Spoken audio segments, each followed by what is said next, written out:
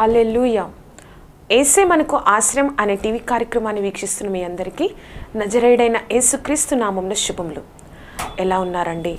దేవుడు తన రెక్కల చాటును మనల్ని భద్రపరిచి మరొక వారాన్ని మనకు అనుగ్రహించిన దేవాది దేవునికి సమస్తమైన మహిమ ఘనత ప్రభావం కలుగును గాక ఇలా ప్రతి వారము మనతో దేవుడు తన మాట ద్వారా మనల్ని బలపరుస్తూ సరిచేస్తూ మనల్ని ఆయనలో నిలిచేలా చేస్తున్న దేవునికి సమస్తమైన ఘనత మహిమ కలుగును కాక ఈ యొక్క వారాన్ని కూడా దేవుడు మనతో మాట్లాడాలని ఆశిస్తున్నారండి. ఈ యొక్క వారాన్ని వాక్యాన్ని ధ్యానించుకునే ముందుగా ప్రార్థన చేసుకుందాం. సర్వోన్నతుడ సర్వాధికారి పరిశుద్ధాత్మ దేవాయసయ నీ గొప్ప కృప కాపుదల భద్రత తండ్రి ఆశ్చర్యకరుడా ఈ విధంగా నీ సన్నిధికి రావడానికి నీ గొప్ప కృపను అనుగ్రహించిన దేవాది దేవా. తండ్రి పరిశుద్ధాత్మదేవ ప్రభ మాతో మాట్లాడడానికి మమ్మల్ని సిద్ధపరిచిన ఆశ్చర్యకరుడా నీకు వందనాలు. ఎవరైతే యొక్క కార్యక్రమాన్ని వీక్షిస్తూ ఉన్నారో సర్వశక్తి మంత్రాయసయ ప్రతి ఒక్క హృదయాన్ని నీ యొక్క అధికారంలోనికి తీసుకోనండి. నువ్వు తోడుగా ఉండి నడిపించండి. నేను కాదయ్యా నువ్వు వారితో మాట్లాడు మాట్లాడు ప్రభాయసయ నా యొక్క ఆలోచనలు తలంపులను ప్రభాయసయ దూరం చేసి సర్వశక్తి మంత్రాయసయ నీ నామాన్ని ఘనపరుచుకొని నీ గొప్ప కృపను అనుగ్రహించి నీ కృపా రెక్కల క్రింద భద్రపరిచి తండ్రి నాతో మాతో మా అందరితో నువ్వే మాట్లాడి నీ నామాన్ని మహిమపరుచుకునగలరని నజరేడైన యేసుక్రీస్తు నామం అడిగి వేడుకొంచినాం తండ్రి. Amen amen amen. ఈ వారం మన యొక్క వాక్య ప్రసంగాంశంగా మత్తైసు వార్త ఇరవై ఒకటో అధ్యాయము ఇరవై రెండో వచనం. మరియు మీరు ప్రార్థన చేయనప్పుడు వేటిని అడుగుదురో అవి దొరుకునని నమ్మిన ఎడల మీరు వాటన్నిటినీ పొందుదురని వారితో చెప్పెను. మీరు ప్రార్థన చేయనప్పుడు వేటిని అడుగుదురో అవి దొరుకునని మీరు నమ్మిన ఎడల వాటిని మీరు పొందుకుంటారు అని చెప్తున్నారండి. మన యొక్క ఈ వారం యొక్క వాక్య ప్రసంగ అంశము ఈ వారం యొక్క మన యొక్క వాక్య ప్రసంగ అంశము ప్రార్థనకు సమాధానం పొందుకోవాలి అంటే ఏం చేయాలి? ప్రార్థనకు సమాధానం పొందుకోవాలి అంటే ఏమి చేయాలి? ఈ యొక్క ఈ యొక్క మనం చదివిన వాక్యంలో ఏసయ్య ఒక ఉదయమున ఎరుషలేమునికి వెళ్తూ ఉన్నారు ప్రయాణమవుతున్నారు. ఆ కాలంలో ప్రయాణము అంటే ఏదో మనం ఏదో మన యొక్క వాహనాలు తీసుకొని వెళ్ళం కానీ కాలి నడకన ఏసయ్య ఎరుషలేమునికి ఉదయమునే ప్రయాణమవుతున్నారు వెళ్తూ ఉన్నారు. వెళ్తూ ఉన్నప్పుడు దా ఆ యొక్క ఏసైకి ఆకలి వేసిందండి. ఆకలి వేసినప్పుడు ఏం చేశారు అంటే దారి పక్కన ఉన్న ఒక అంజూరపు చెట్టును చూసి ఆ అంజూరపు చెట్టు దగ్గర ఏమైనా తినడానికి దొరుకుతుందేమో అంజూరపు పండ్లు దొరుకుతాయేమో అని ఆశగా ఆ అంజూరపు చెట్టు వైపు చూసినప్పుడు ఆ అంజూరపు చెట్టు దాని యొద్దకు రాగా ఆ యొక్క అంజూరపు చెట్టు దగ్గరకు రాగా అక్కడ ఫలాలేమీ ఏసైకు కనబడలేదు. ఇంకా ఏసయ్య వెంటనే ఏమన్నారు అంటే నువ్వు ఇంకెప్పటికీ కాయలు కాయకుండా ఉందువు గాక. నువ్వు ఎప్పటికీ ఇంకా ఇలానే ఇంకా ఎప్పుడు నువ్వు ఇంకా ఫల అభివృద్ధి చెందకుండా ఇంకా కాయలు లేకుండా నువ్వు ఉండును గాక అని కానీ వెంటనే ఆ అంజురప చెట్టు ఎండిపోయిందంటండి. ఈ యొక్క ఈ యొక్క విషయాన్ని శిష్యులు దగ్గరగా ఉండి గమనిస్తూ ఉన్నారు. గమనిస్తూ ఉన్నప్పుడు ఏం జరిగిందంటే ఆ శిష్యులు ఆశ్చర్యపోయారు. ఇంత త్వరగా ఏసయ్య ఒక మాట చెప్పగానే ఇంత త్వరగా ఆ అంజరపు చెట్టు ఎండిపోయింది అని వారు అలా విధంగా చెప్పుకుంటున్నప్పుడు అప్పుడు ఏసయ్య వారితో ఏమన్నారు అంటే మీరు విశ్వాసంతో మీరు విశ్వాసంతో ఈ కొండను సముద్రంలో పడవేయమని మీరు విశ్వాసంతో ఆ కొండని చూసి చెప్తే ఆ కొండ దానిలో వెళ్ళిపోతుంది అని చెప్తూ ఏమని చెప్పారంటే మరియు మీరు ప్రార్థన చేయనప్పుడు వేటిని అడుగుదురో అవి దొరుకునని నమ్మిన ఎడల మీరు వాటిని పొందుకుంటారు అని ఈ యొక్క వాక్యాన్ని చెప్పారండి దేవుడు. అసలు మనం ఎన్నో ప్రార్థనలు చేస్తుంటాం కదా ఇప్పటికే. ఎన్నో ప్రార్థనలు మన జీవితంలో చేస్తున్నాం. చేస్తూ ఉన్నాము కూడా. కానీ ఎన్నో ప్రార్థనలకు మనం ఇంకా జవాబు పొందుకోలేదు. ఎన్నో అనాన్సర్డ్ ప్రేయర్స్ మన జీవితంలో ఉన్నాయి. ఇంకా ఇంకా ఇంకా జవాబు పొందుకోలేని ప్రార్థనలు మన జీవితంలో మన కుటుంబాల్లో ఇంకా చాలా ఉన్నాయి. మరి వాటన్నిటికీ మనం ఎందుకు జవాబు పొందుకోలేకపోతున్నాము? దేవుడు అంటున్నారు నేను మీరు ప్రార్థనలో ఏమి అడిగితే అది పొందుకుంటారు అని అంటున్నారు. ఎందుకు మనం పొందుకోలేకపోతున్నాం? మనం ఎక్కడ లోపం ఉందో మనం నాలుగు విషయాల్లో మనం ఈరోజు నేర్చుకుందాం. మన యొక్క వాక్య ప్రసంగ అంశము ప్రార్థనకు సమాధానం పొందుకోవాలంటే మనం ఏమి చేయాలి? మన వారం యొక్క వాక్య ప్రసంగ అంశము ప్రార్థనకు సమాధానం పొందుకోవాలి అంటే మనం ఏం చేయాలి? మొట్టమొదటిగా విశ్వాసం కలిగి సందేహింపకుండా ప్రార్థించాలి. మన మొట్టమొదటి పాయింట్ ఏంటంటే విశ్వాసం కలిగి సందేహింపకుండా ప్రార్థించాలి. విశ్వాసం లేకుండా ఉండడము అంటే ఏంటి అంటే ఇంకా మనం మన హృదయంలో దేవుణ్ణి నమ్మలేని స్థితి అనమాట ఇప్పుడు ఒక ఒక ఏరోప్లేన్ కానీ అది ఒక మంచిగా వెళ్ళాలి అంటే ఏం కావాలండి? దానికి ఒక మంచి ఇంజన్ కావాలి. అలాగే ఒక అర్హుడైన ఒక క్వాలిఫైడ్ పైలట్ కావాలి. ఆ యొక్క ఆ యొక్క వాహనం ఆకా ఆ యొక్క ఏరోప్లేన్ ఆకాశంలో వెళ్ళాలి అంటే అది కావాలి. అలాగే మనము మన యొక్క జీవితంలో మన యొక్క ప్రార్థనలకు సమాధానము పొందుకోవాలి అంటే మన యొక్క హృదయంలో విశ్వాసం అనేది ఉండాలి. మన యొక్క హృదయంలో విశ్వాసము అనేది ఉండాలి. మనము ఎక్కడికన్నా వెళ్తున్నప్పుడు బయటకు వెళ్తున్నప్పుడు కానీ లేకపోతే ఒక ఒక ఆఫీస్కి వెళ్తున్నప్పుడు ఒక బ్యాగ్ని క్యారీ చేస్తాం. ఒక ఒక చర్చ్కి వెళ్తున్నప్పుడు బైబిల్ని క్యారీ చేస్తాం. లేకపోతే దైవజనులు చెప్పిన వాక్యాలు రాసుకోవడానికి ఒక బుక్కుని క్యారీ చేస్తాం పెన్నుని క్యారీ చేస్తాం. అలాగే నువ్వు నేను దేవుడు దగ్గరకు వస్తున్నప్పుడు మనం ఏమి ఏమి పట్టుకొని రావాలి తెలుసా? ఏమి మన హృదయంలో ఉండాలి అంటే విశ్వాసం ఉండాలి. అందుకే హెబ్రిల్కి రాసిన పత్రిక పదకొండో అధ్యాయం ఆరో వచనంలో ఈ విధంగా ఉంటుంది. It is impossible to please God without faith ఒకసారి చూద్దామండి. హెబ్రిల్కి రాసిన పత్రిక పదకొండో అధ్యాయము ఆరో వచనంలో విశ్వాసము లేకుండా దేవునికి ఇష్టడై ఉండట అసాధ్యము. దేవుని ఎద్దుకు వచ్చువాడు ఆయన ఉన్నాడనియు దన్ను వెతుకు వారికి ఫలము దయచేయువాడనియు నమ్మవలను కదా. చూసారా అండి ఆయన ఉన్నాడు నాకు ఫలాన్ని దయచేస్తాడు కదా అని నువ్వు విశ్వాసంతో నువ్వు ఏదైతే అడుగడానికి ఏదైతే నీ ప్రార్థనలో ఆయన సన్నిధిలో మొరపెట్టడానికి ఆ యొక్క సిద్ధపడుతూ ఉన్నావో ఆ యొక్క ప్రార్థనలో కూర్చుంటూ ఉన్నావో అప్పుడే నువ్వు నమ్మాలి. నేను ఈ కార్యం కోసము నేను ప్రార్థన చేస్తున్నాను దేవుడు నాకు సహాయం చేస్తారు. It is impossible to please God without faith ఆ యొక్క విశ్వాసము లేకుండా దేవునికి ఇష్టడై ఉండుట అసాధ్యము. మనందరికీ తెలుసండి ఒక విశ్వాసం అనేది ఏదో ఒక ఒక వస్తువులాగా మనకెవ్వరికి కనబడదు. నీలో ఉన్న విశ్వాసము నీలో ఉన్న విశ్వాసం ఒక్క దేవుడికి మాత్రమే కనబడుతుంది. నువ్వు ఎంతగా విశ్వాసంతో దేవుడి ద- విశ్వాసం కలిగి ఉన్నావో విశ్వాసం కలిగి నువ్వు ప్రార్థన చేస్తున్నావో ఆ విశ్వాసమే నీ కార్యాలను నువ్వు కళ్ళార చూసి అనుభవించేటట్లు ఆ కార్యం చేయగలదు. విశ్వాసం అనేది చాలా గొప్పది. అది ఈ ప్రపంచంలో ఎవ్వరు చూడలేరు కానీ నీలో ఉన్న విశ్వాసాన్ని ఆ గొప్ప దేవుడు మాత్రమే చూసి నీకు ప్రతిఫలం ఇవ్వగలడు. అందుకే చెప్తున్నారు సందేహింపకుండా విశ్వాసం కలిగి ప్రార్థన చేస్తే నీ యొక్క ప్రార్థనలకు సమాధానం కలుగుతుంది అని దేవుడు మనకు ఒక్కసారి మరొకసారి గుర్తు చేస్తున్నారు జ్ఞాపకం చేస్తున్నారు. ఇంకా నీకు ఏ విషయంలో సందేహం? అయ్యో నా ఈ సమస్యని ఇంకెవరు తీర్చలేరు. దేవుడు ఏం తీరుస్తాడు? ఇంకెంతమందిని అడిగాను? ఇంకా దేవుడు తీర్చగలడా? ఇన్ని సంవత్సరాలు అయిపోయింది ఇన్ని సంవత్సరాల నుంచి నేను ప్రార్థన చేస్తున్నాను. ఇన్ని సంవత్సరాల నుంచి ఏంటో నేను ఇంకా కన్నీరు కారుస్తున్నాను ఆ సమస్య గురించి. దేవుడు నాకు ఈ యొక్క సమస్యను తీర్చగలడా అని నువ్వు ఇంకా అవిశ్వాసంలోనికి వెళ్ళిపోతున్నామేమో ఆయన తీర్చలేని సమస్య ఈ ప్రపంచంలో ఇంకా రాలేదండి. ఆయన తీర్చలేని నువ్వు ఆయన చిత్తానుసారంగా ఆయన తీర్చలేని సమస్య ఈ ప్రపంచంలో ఇంకా రాలేదు రాదు కూడా. ఇంకా ఎందుకు సందేహిస్తున్నావు? ఎందుకు అవిశ్వాసంలోనికి వెళ్ళిపోతున్నావు? సందేహింపకుండా విశ్వాసంతో నువ్వు ప్రార్థన చేయి.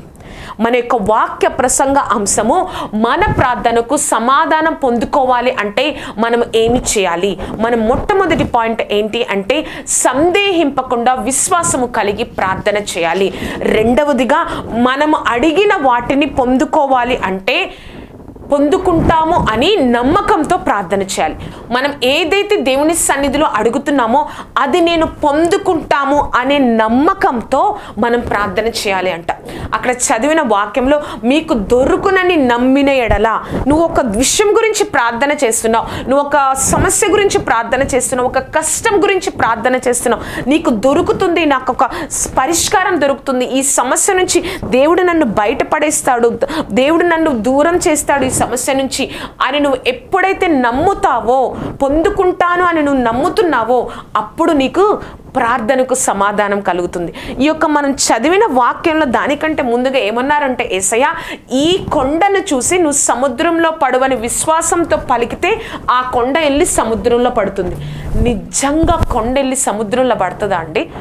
నిజంగా దేవుడు ఆ మాటను ఎందుకు చెప్తున్నారంటే నీ కొండలాంటి కష్టాల వైపు చూస్తున్నావు నీ కొండలాంటి క- కన్నీరు వైపు బాధ వైపు ఎప్పటి నుంచో నీ ఎదురుగా ఆ కొండలాగా అడ్డుగా నీ యొక్క జీవితానికి ముందుకెళ్ళనీయకుండా చేస్తున్న ఆ కొండ వైపు మాత్రమే కొండ అటువంటి కష్టాల కన్నీళ్ళ గురించి దేవుడు ఆ క- కొండల గురించి చెప్తున్నారు. ఆ కొండలను చూసి నువ్వు నాకెప్పుడు కనబడకుండా సముద్రంలోకి వెళ్ళిపో అని నువ్వు నమ్మితే దేవుడు నాకు ఆ యొక్క స్థితిని ఇస్తారు. నేను ఇన్ని సంవత్సరాలు దాన్ని చూసి బ్రతుకుతా ఉన్నాను. ఇన్ని సంవత్సరాలు దాన్ని చూసి కన్నీరు కారుస్తున్నాను. ఇన్ని సంవత్సరాలు ఆ కొండని కష్టాలని కన్నీటిని బాధను చూసి ఎంత ఎంతగానో దుఃఖిస్తా ఉన్నాను. కానీ నా దేవుడు ఆ కొండని నాకు కనబడకుండా సముద్రంలో పడవేస్తారు అని నువ్వు ఎప్పుడైతే అనుకుంటావో నువ్వు ఎప్పుడైతే నమ్మి ఆయన సన్నిధిలో ప్రార్థన చేస్తావో దేవుడు నీ యొక్క ప్రార్థనకు సమాధానం దయచేస్తారు. దేవుడు నీ యొక్క ప్రార్థనకు సమాధానం చేస్తారు. అంతేకాని మన ప్రార్థనలు ఎలా ఉండాలో తెలుసా అండి? ఆయన చిత్తానుసారంగా ఉండాలి. అవును మన ప్రార్థనలు ఆయన చిత్తానుసారంగా ఉండాలి. ఒక వాక్యాన్ని నేను చదువుతానండి. మార్కు సువార్త పదకొండో అధ్యాయము ఇరవై నాలుగో వచనం. అందుచేత ప్రార్థన చేయనప్పుడు మీరు అడుగుచున్న వాటి నెలను పొంది ఉన్నారని నమ్ముడి. మార్కు చు సువార్త పదకొండో అధ్యాయం ఇరవై ఏమంటున్నారండి దేవుడు? అందుచేత మీరు ప్రార్థన చేయనప్పుడు అడిగిన వాటన్నిటినీ మీరు పొందుకున్నారని నమ్ముడి. దీన్ని మనము మనము వేరేలాగా అర్థం చేసుకోకూడదు. ఎలా అంటే నేను రాత్రంతా కూర్చొని ప్రార్థన చేస్తాను నాకు సూర్యుడు కనిపించాలి. అంటే ఎంత ఫులిష్గా ఉంటుందండి? అవునా?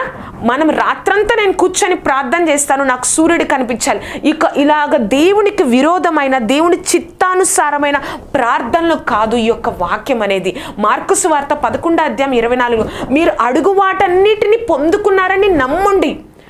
మీరు అడిగిన వాటన్నిటిని అంతేకాని దేవుడి చిత్తానుసారంగా నువ్వు ప్రార్థన చేస్తే నేను పొందుకుంటాను ప్రభా. ఇది నువ్వు నేను ఆశీర్వదింపబడడం నీ చిత్తము. నేను యొక్క కన్నీటిలో నుంచి బయటికి రావడం కొండలాంటి కష్టాల్లో నుంచి నేను బయటికి రావడం నీ చిత్తము అని నువ్వు ఎప్పుడైతే ప్రార్థన చేస్తావో ఆయన చిత్తానుసారంగా నువ్వు ప్రార్థన చేస్తావో నువ్వు నమ్ముతావో నేను పొందుకున్నాను నేను బయటికి వస్తాను నేను ఆ యొక్క విషయంలో నేను ఆ యొక్క సంతోషిస్తాను దేవుని కా కార్యాన్ని నేను ఆ విషయంలో చూస్తాను అని నువ్వు ఎప్పుడైతే అనుకున్నావో దేవుడు తప్పకుండా నీ నా ప్రార్థనకు సమాధానం ఇస్తారు అర్థమైంది కదా అండి? రెండవదిగా మనం అడిగిన వాటిని పొందుకున్నామని నమ్మకంతో మనం ప్రార్థన చేయాలి. మన యొక్క వాక్య ప్రసంగాంశం ప్రార్థనకు సమాధానం పొందుకోవాలంటే ఏమి చేయాలి? ఒకటో పాయింట్ ఏంటి అంటే విశ్వాసం కలిగి నమ్మకంతో ప్రార్థన చేయాలి. రెండవదిగా అడిగిన వాటినన్నిటిని పొందుకున్నామని నమ్మకంతో ప్రార్థన చేయాలి. మూడవదిగా అండి ఇది చాలా కష్టం అనిపిస్తుంది కానీ దేవుని దృష్టిలో నువ్వు చాలా విలువైన వాడిగా ఉంటావు. ఇది చేస్తే ఏంటో తెలుసా? మన ప్రార్థనకు సమాధానం రావాలంటే ఇతరులను మనం క్షమించాలి. మన ప్రార్థనకు సమాధానం రావాలి అంటే మనము ఇతరులను క్షమించాలి అండి. మార్కుస్ వార్త పదకొండు అధ్యాయం ఇరవై ఐదో వచనంలో. మీరు నిలవబడి ప్రార్థన చేస్తున్నప్పుడు మీరు ఎవరికైనా వ్యతిరేకంగా ఏదైనా వ్యతిరేకత కలిగి ఉంటే అతన్ని క్షమించండి. తద్వారా పరలోకమున్న మీ తండ్రి మీ పాపములు క్షమిస్తారు.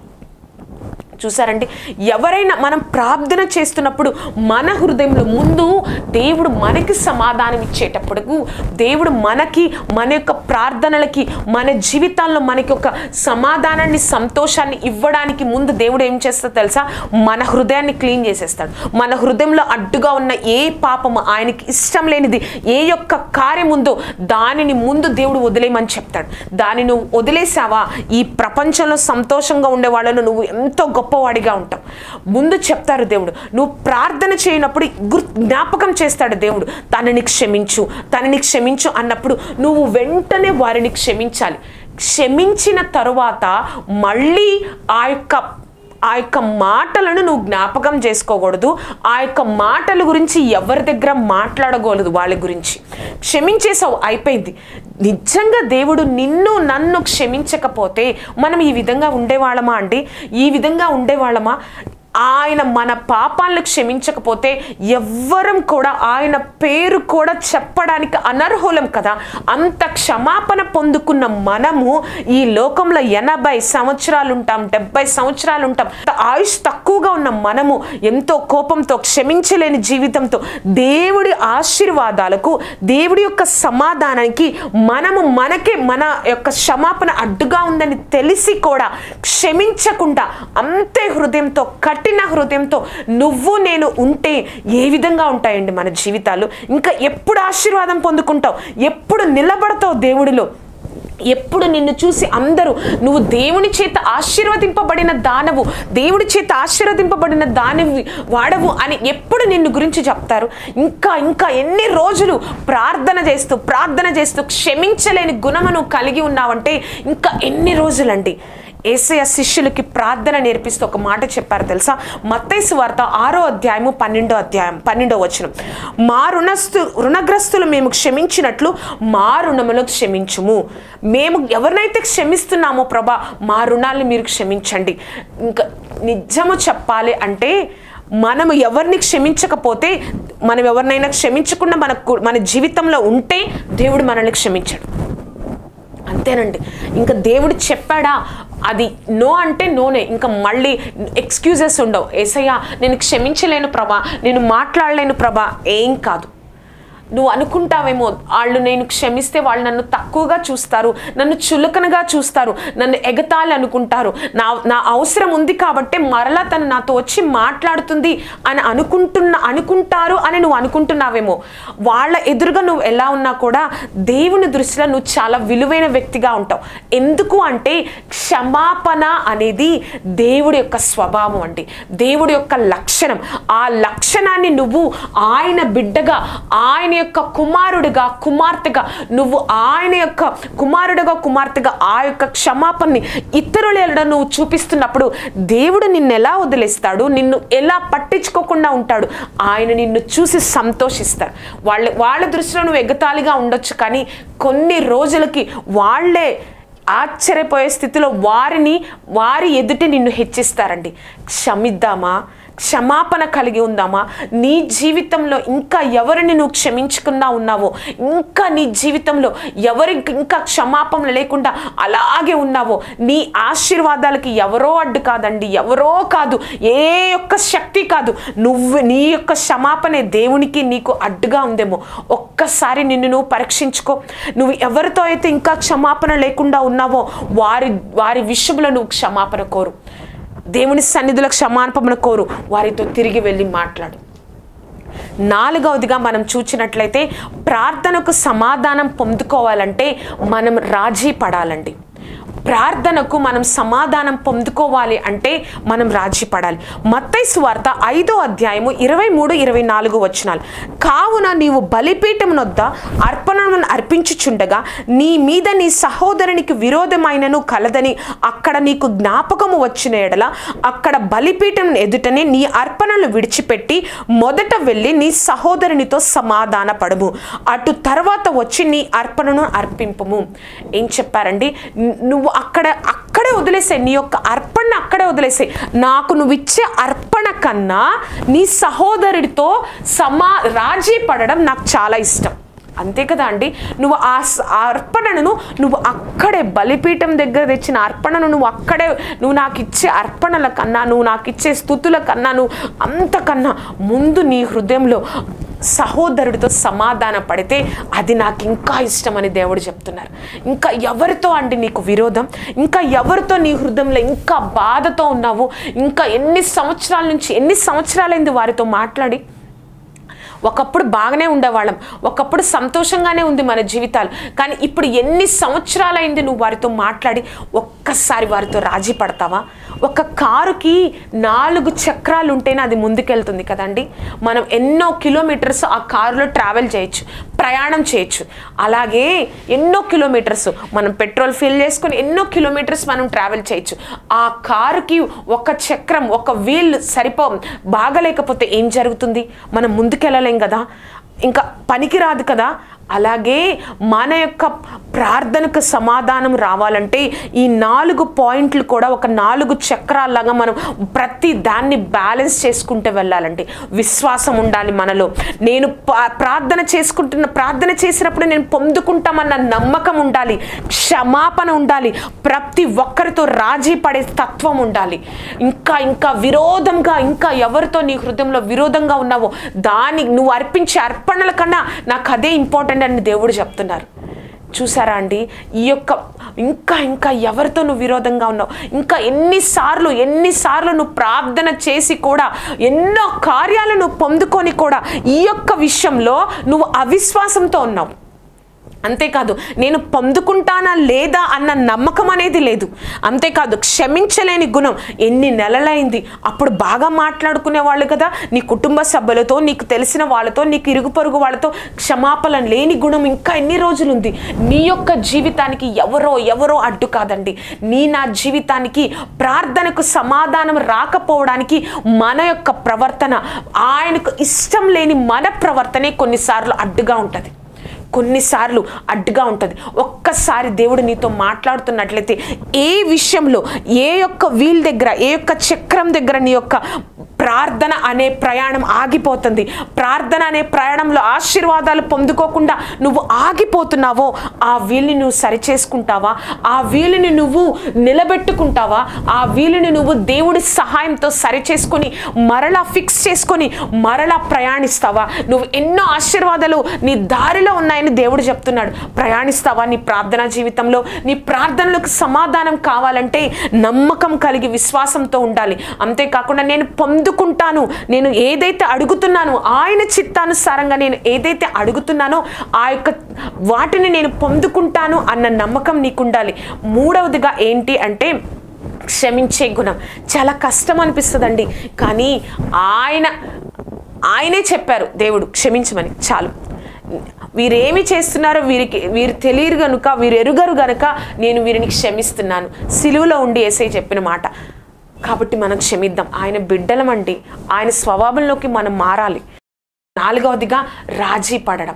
ఇంకా విరోధంగా విరోధంగా నేను మాట్లాడను నేను చెయ్యను నేను ఇలానే ఉంటాను. నీకు బ్లెస్సింగ్స్ అన్నీ ఆగిపోతాయి స్టక్ అయిపోతాయి అక్కడ. దేవుడి దగ్గర. దేవుడికి ఇవ్వాలని ఉంటుంది. కానీ నువ్వు ఆయనకి ఇష్టమైన హృదయంతో ఉండవు. దేవుడికి ఇవ్వాలని ఉంటుంది నిలబెట్టాలని ఉంటుంది. కానీ మనం ఆ విధంగా ఉండవు అర్థమైంది కదా అండి? మన ప్రార్థనకు సమాధానం రాకపోవాలం రాకపోవడానికి గల కారణాలు ఏంటో మనం అర్థం చేసుకున్నాం కదా? మనం ఇప్పుడు ప్రార్థన చేసుకుందామండి. ప్రభా ఏ యొక్క విషయంలో నేను తప్పిపోతున్నానో ఒక్కసారి నువ్వు దేవుని సన్నిధిలో ప్రార్థన చేయి. సర్వోన్నతుడ సర్వాధికారి పరిశుద్ధాత్మదేవాయసయ్య నీ గొప్ప కృప కృప కృప కృప. కృప తండ్రి నీకు కోట్లాది కృతజ్ఞతలయ్యా. నీ నామాన్ని ఘనపరుచుకోనండి సర్వశక్తి మంత్ర ఎస్ఐ మేము ఇంకా ప్రార్థనకి ప్రభ సమాధానం పొందుకోలేకపోతున్నాం తండ్రి. ఎస్ఐ ఏ చక్రానికి ప్రభా ఎస్ఐ రిపేర్ వచ్చిందో ప్రభా విశ్వాసం లేకుండా ఉంటున్నావేమో సర్వశక్తి మంత్ర నీ ప్రభా విశ్వాసం లేకుండా ఉండుట ప్రభా తండ్రి సర్వశక్తిమంతుడ సర్వోన్నతుర తండ్రి నీకు ఇష్టం లేని విషయమయ్యా. దేవునికి ఇష్టడై ఉండుట అసాధ్యము తండ్రి ఏసయ్య. విశ్వాసం లేకుండా దేవుడికి ఇష్టడై ఉండుట అసాధ్యం. ఆ యొక్క ఇష్టం లేని స్థితిలో ఉన్నామేమో సర్వశక్తిమంతుడ ఏసయ్య. ఆశ్చర్యకరుడా నేను అడిగిన వాటన్నిటిని నేను పొందుకుంటానని నమ్మిక లేకుండా ఉన్నామేమో ఆశ్చర్యకరుడా తండ్రి. నువ్వు ఇస్తానన్నావయ్యా నీ చిత్తానుసారంగా మా ప్రార్థనలు లేవేమో. ఒక్కసారి జ్ఞాపకం చేసుకోరండి. ఇంకా ఇంకా క్షమించే గుణము మాలో లేదేమో ఏసయ్యా.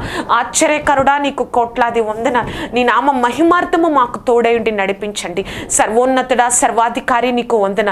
ప్రభా ఇంకా రాజీ పడని స్వభావం మా యొక్క జీవితంలో ఉందేమో. ఇంకా రాజీ లేని స్వభావం మా జీవితంలో ఉందేమో. ప్రభా నేను మేము ఇచ్చే నీకు మా యొక్క హృదయానికన్నా మా యొక్క కానుకల కన్నా అర్పణల కన్నా రాజీ పడడం ముఖ్యం అంటున్నావయ్యా ముందు ఆ పని చేయమంటున్నావయ్యా. ప్రభా మేము ఈ యొక్క ప్రార్థన అనే జీవితంలో ప్రయాణిస్తూ ఉండగా ఈ నాలుగు చక్రాలు సరిగ్గా ప్రభా పని చేసుకుంటూ ప్రభా బ్యాలెన్స్ చేసుకుంటూ తండ్రి నువ్వు ఇచ్చే ఆశీర్వాదాల కోసం మేము వెళ్ళడానికి సహాయం దయచేయండి. నీ నామాన్ని ఘనపరుచుకొనండి నీ గొప్ప కృపను అనుగ్రహించండి. నువ్వే తోడుగా ఉండి నడిపించి బలపరచండి అయ్యా. ఈ కార్యక్రమాన్ని చూసి ఎవరైతే ప్రభా ప్రభా ఒప్పుకుంటున్నారో క్షమించాలి రాజీ పడాలి నమ్మకంతో ఉండాలి విశ్వాసంతో ఉండాలి అని అడుగుతున్నారో తండ్రి వారికి అనుగ్రహించి నీ నామాన్ని ఘనపరుచుకొని నువ్వే సహాయంను దయచేసి బలపరిచి నీ కృపలో వర్ధిల్లింప చేయగలరని నీ శక్తితో జ్ఞానంతో నింపగలరని నజరేడైన యేసుక్రీస్తు నామంన అడిగి వేడుకొంచున్నాము తండ్రి.